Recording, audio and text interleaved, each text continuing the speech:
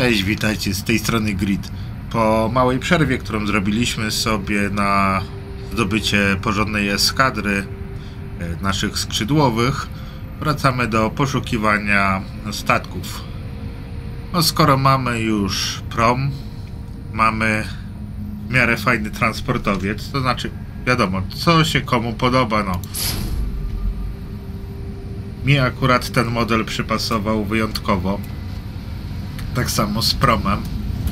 Poszukamy sobie odkrywcę. Co do eksplorerów, mają bardzo fajną zaletę, potrafią naprawdę daleko skakać. Nie są to może myśliwce, nie są to transportowce, ale nadrabiają zasięgiem skoku, więc do przemierzania galaktyki są to statki idealne. Dodatkową, fajną rzeczą są ich kokpity.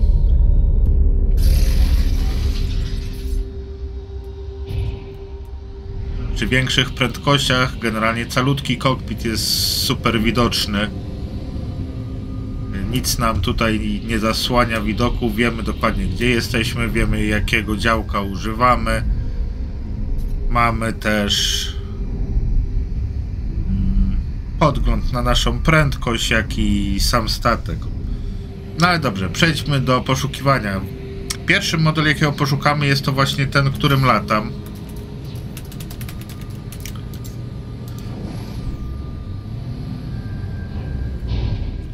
Podoba mi się z, ze względu na swoją kompaktowość, nie? Generalnie taki statek zwiadowczy można nazwać. Jak najbardziej powinien być dosyć mały, dosyć zwarty, nie? Żeby nie rzucać się w oczy. Statek musi mieć jakieś skrzydła, nie? No oczywiście jest to tylko moje zdanie, nie musicie się z nim zgadzać. Ale ja lubię jak jednak statek y, powietrzny ma, ma te skrzydła, jest to jakiś dla mnie tam wymóg, nie? Ale dobrze, gdzie go szukać? Hmm, nie będziemy szukać na konkretnych koordynatach. Poczekajcie, się tylko przesiądę do, do swojego. Będziecie potrzebowali y, skanera y, zamontowanego na statku, skanera handlowego, żeby znaleźć posterunek handlowy.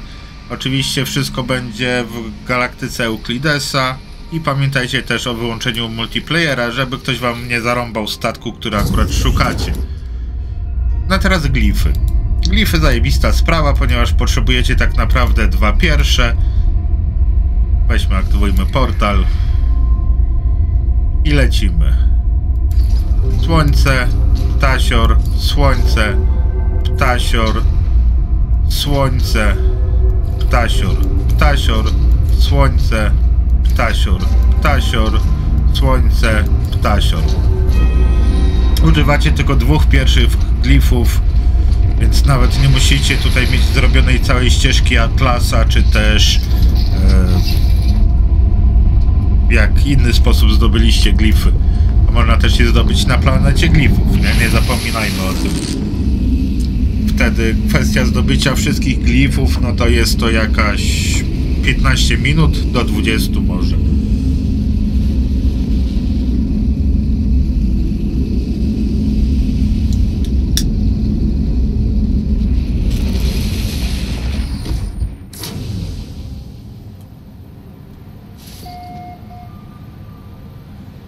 No i sobie lądujemy na Ambero 8, tak? 13, przepraszam.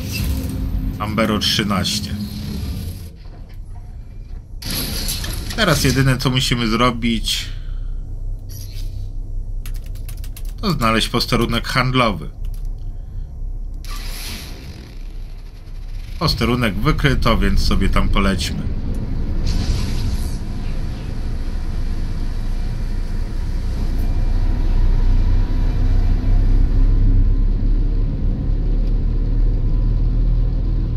No niestety na innej planecie, ale to nic niespecjalnie nam to przeszkadza.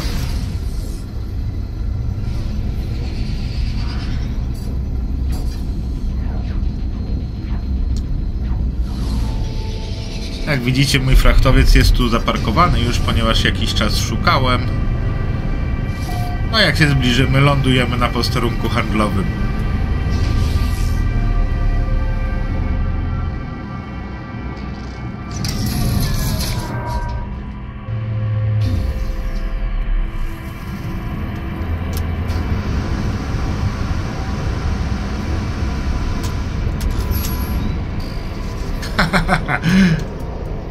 Wiecie co? Uwielbiam gościa. Spójrzcie na to. Weźmy sobie, usiądźmy. No skoro już jest, to skorzystajmy, nie? Czemu by nie? Mamy szatla, mamy mój statek. Tutaj kolejny szatel. Tutaj szatel albo szatel, tak. To jeszcze jest też szatel.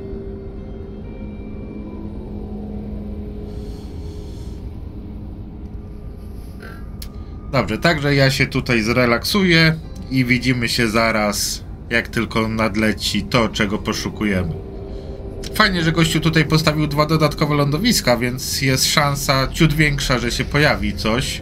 Nie, nie trzeba tak długo czekać. No i fotel, nie? Generalnie wszystko mamy na wyciągnięcie ręki. Jeszcze portal koło tego jest. Ale zobaczcie, jak ostatnio tu byłem, ponieważ jest to planeta, na której też szukałem yy, chyba transportowca, jeżeli się nie mylę. Nie było takich udogodnień, nie? Normalnie szkoda, że nie można bas lajkować, bo chłopak by dostał ode mnie lajka. Albo dziewczyna. Nie wiem, czyja to baza. No ale dobrze, ja się pauzuję i sobie czekam na naszego odkrywcę.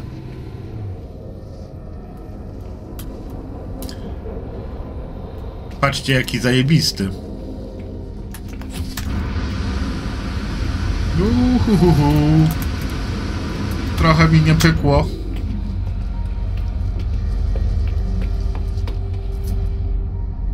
Jaka C-klasa. Ale też dość ciekawy, chociaż gdyby miał bardziej w kształcie X-a, nie? Te skrzydła byłby lepszy. No ale nic, nie narzekajmy, jest dobrze. Pierwszy model dość ciekawy, chociaż nie ten, którego ja szukam. O! Czyli jak widzimy tutaj z opisu, szkoda, że nie ma dwóch tych dużych silników.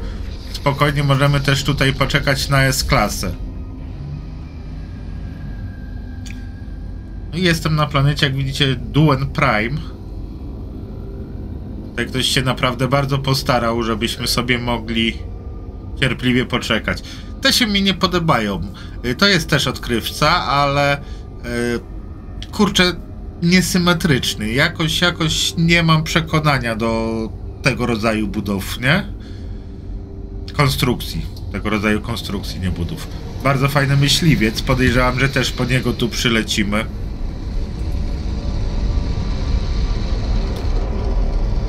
No dobra. Ja czekam. Widzimy się za chwileczkę. Wystarczy poczekać. Jest to co prawda tylko B-klasa, ale to nic. Jest to dokładnie model, jakiego szukałem. Choć niestety nie jestem w stanie stwierdzić, jaka kolorystyka, ze względu na to, że ta planeta troszeczkę tu przekłamuje. Ale obejrzyjmy go sobie. Powiem wam, że jest to jeden z bardziej takich pasujących mi modeli Explorerów, nie? Tutaj taki, kurde, ciężko powiedzieć, ni to szary, ni to gdzieś tam przebija jakby brąz, ale Nemesis zniszczenie, nazwa zdecydowanie do mnie przemawia. Wydajmy te dwie bańki i go zakupmy sobie.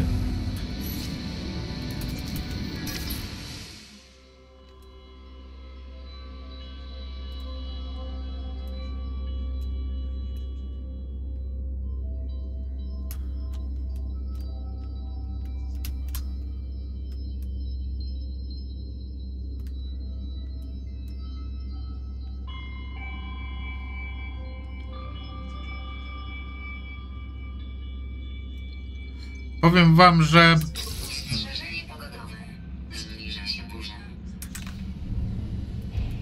moim skromnym zdaniem jest to bardzo fajny statek, jeśli chodzi o eksplorery. Jeden z takich, które z wyglądu, nie? Typowo się na, nie nadają.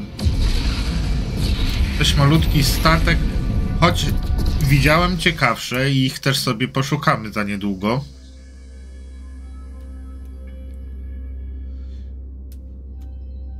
No nie mam pojęcia, jak określić jego kolor, słuchajcie.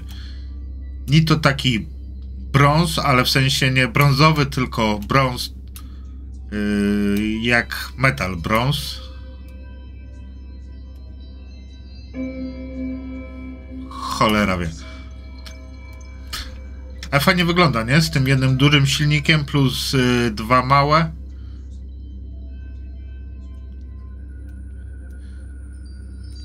Do tego te dwa działka u góry, dopiero teraz je zauważyłem. Myślę, że jak na odkrywce całkiem fajny statek, nie? Taki statek badawczy. No dobrze, ale przejdźmy sobie do kolejnego.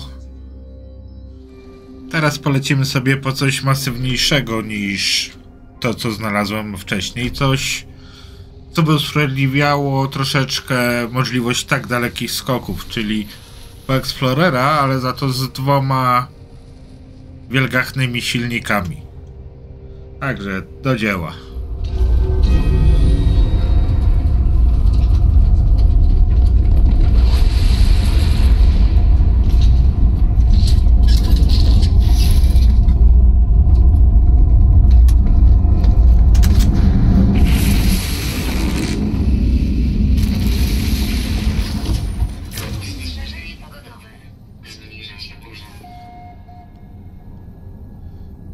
Dla odmiany będzie to rozbity statek, także musimy polecieć na odpowiednie koordynaty. Będzie to minus 19,13 plus 80,44. Przełączmy się na kokpit i szukamy. Ale cholera jest inny.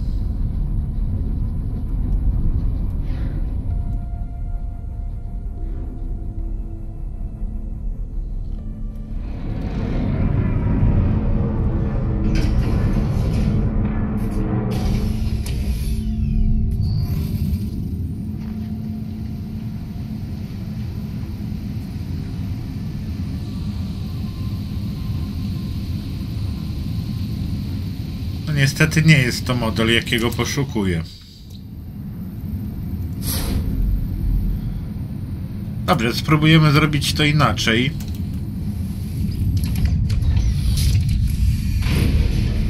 Znajdziemy posterunek handlowy i sobie na niego polecimy, ponieważ jest szansa, że ten model tutaj występuje.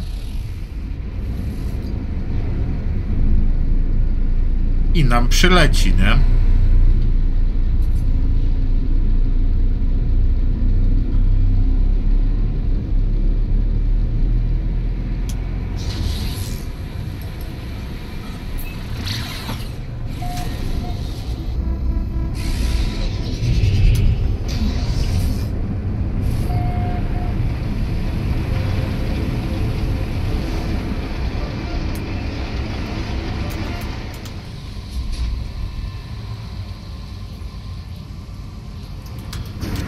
Dobrze, troszkę nam się przyfarciło. W sumie tak długo nie czekałem. Przyleciało tutaj właśnie. Nie wiem, czy to jest dokładnie ten model, którego szukałem.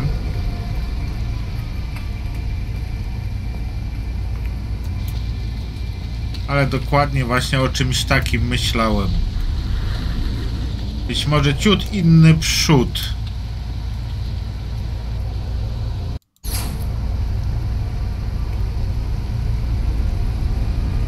Tutaj chyba leci taki, jakiego szukałem.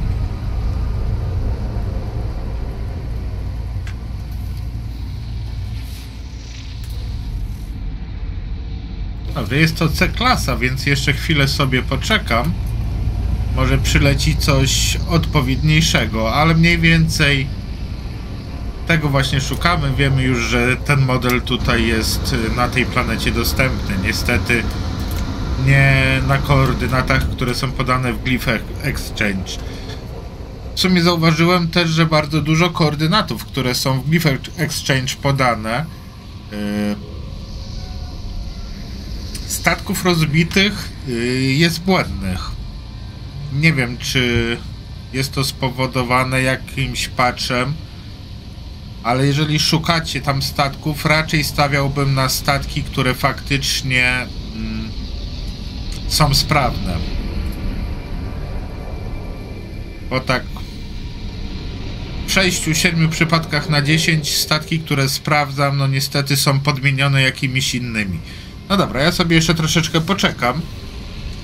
Może przyleci y, model dokładnie, na który poluję. Wtedy, wtedy wam go pokażę. No, przyleciały dwa, ale widzę, że to jest też to samo, co było. Dobrze, więc zadowolimy się tym modelem. Weźmy. Spra sprawdźmy może sobie najpierw jego klasę. Tutaj mamy C. A ten... B. No to weźmy tego B, nie? Sobie obejrzyjmy.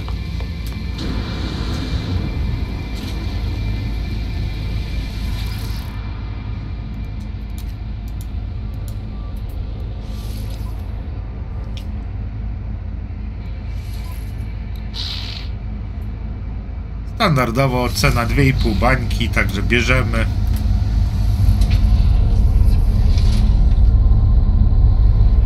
Kokpit y, jest taki sam jak w, y, we wcześniejszym, więc tutaj kokpitem się nie będziemy zajmować się. Zajmiemy tylko wyglądem zewnętrznym.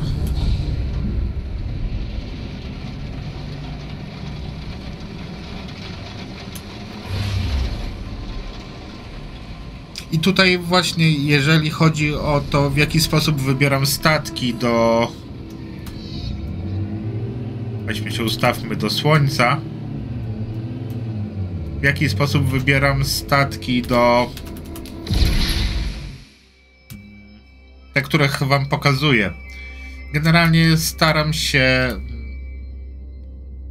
wyobrazić sobie, jakby się sprawdzały, gdybyśmy roleplayowali tą grę, nie? Jakbyśmy faktycznie mm, starali się grać w taki sposób, że do transportu służą transportowce, do mm, odkrywania służą eksplorery i tak dalej, nie?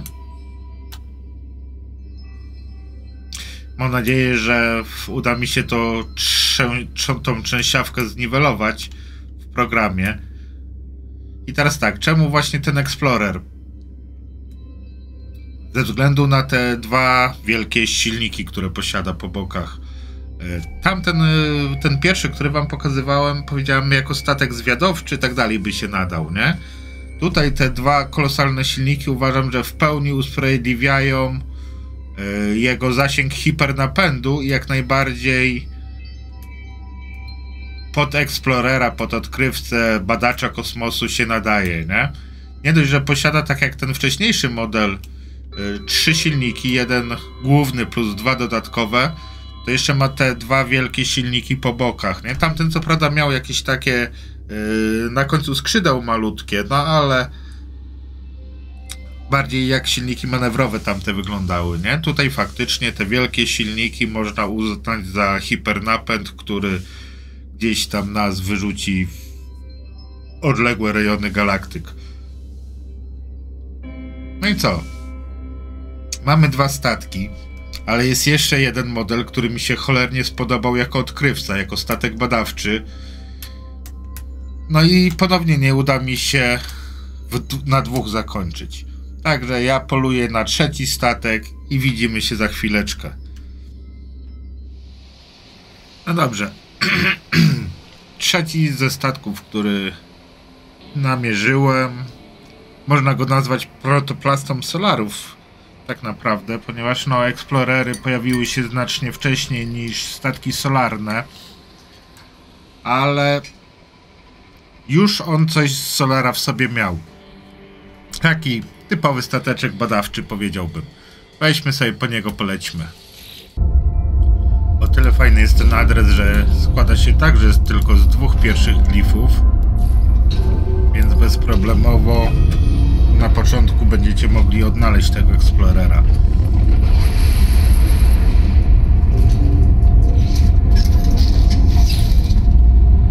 Zdobyć dwa glify to jest naprawdę żaden problem, nie? Zresztą zdobyć 16 to też nie jest jakiś specjalny problem. Wystarczy się udać na planetę glifów, gdzie wszystkie je pozbieracie.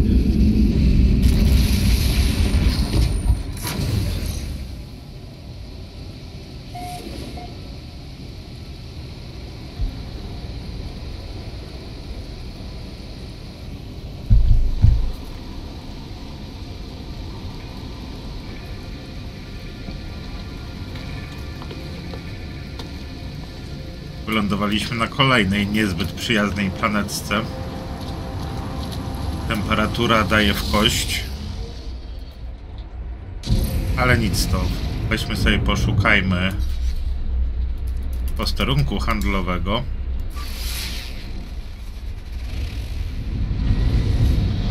Zrobienie skanera nie jest jakimś wielkim problemem, więc... Gdzie jest ten posterunek? Zaraz pod nosem? No nie wierzę. Robienie skanera nie jest jakimś wielkim problemem, a naprawdę doświadczenia mogę powiedzieć, że nieraz bardzo mi ułatwił poszukiwania, nie?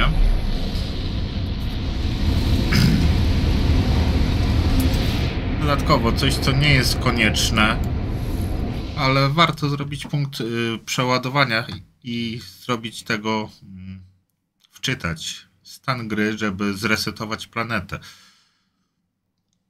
Po prostu wszystkie ustawienia statków, które są, wrócą jakby do mm, stanu początkowego, co daje nam większe szanse na zdobycie tego, czego poszukujemy akurat, nie?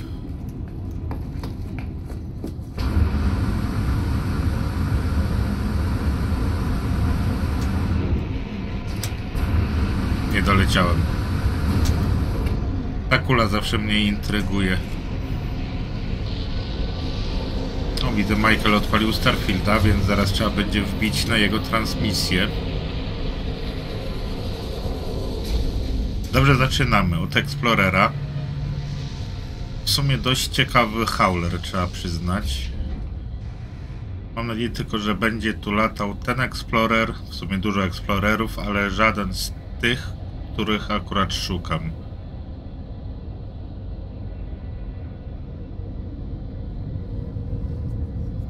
Jak na złość, nie? Się pochowały.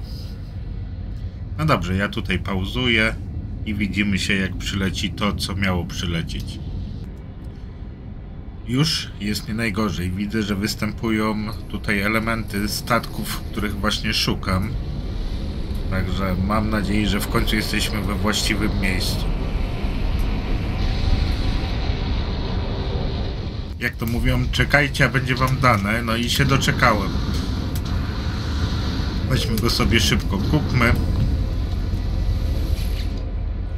No niestety stracę na tej wymianie, ponieważ ja mam tutaj S-klasę i to jeszcze egzotika. Chociaż przynajmniej wymienimy na A-klasę, nie? Tak. Także tutaj jest ten jedyny plus. No i właśnie ten statek chciałem wam pokazać. Weźmy się stąd, wynieśmy sobie, polecimy w kosmos. Powiem wam masakra, nie? Sprawdziłem sam nie wiem ile systemów, ale generalnie znalezienie go zajęło mi praktycznie cały dzień. No jak zwykle poszukajmy gdzieś jakiegoś źródła światła.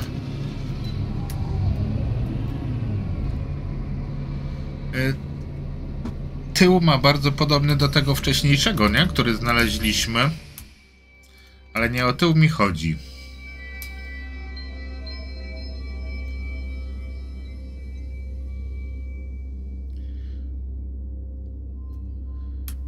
Chłopak idealnie się nadaje na statek badawczy.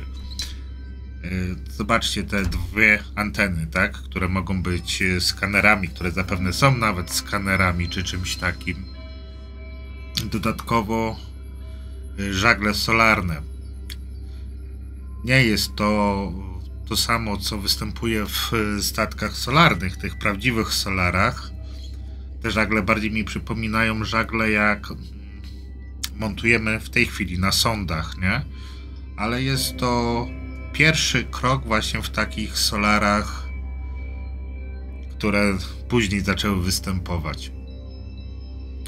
Dodatkowo zauważcie, że ich mocowanie teoretycznie pozwalałoby na zmianę ich geometrii. Co prawda, tutaj zapewne się nie da tego zrobić, no ale od czego mamy wyobraźnię, nie? Także tak się prezentuje ostatni Explorer, jakiego chciałem wam pokazać.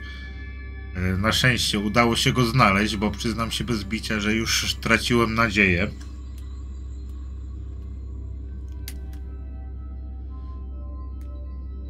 No i co? W najbliższym filmie. Co pozostało nam z tych zwykłych statków? Mamy Shuttle'a, mamy Transporter, mamy Explorera. Czyli pozostał nam chyba już tylko i wyłącznie Fighter, nie? Do zdobycia. W następnym filmie sobie poszukamy Fightera. Później poszukamy Solarów, egzotików jakichś fajnych. Na pewno jakąś ośmiorniczkę spróbujemy się zdoby zdobyć i, którąś, i któreś z tych jaj, nie? No i wtedy zostaną już chyba tylko sentinele. Żywego statku nie będziemy szukać, ponieważ no, żywy statek, polowanie na żywy statek to jest w ogóle dość karkołomne przedsięwzięcie, zwłaszcza jeżeli to jest wasz pierwszy statek. Jeżeli to jest drugi, no to już okej, nie ma problemu. Ale jeżeli jest to pierwszy, no to jest to dość karkołomne i mam poświęcone temu kilka filmów, więc zapraszam tam, jeżeli chodzi o żywe statki. No dobra. Cieszę się, że się udało wykonać plan w 100%.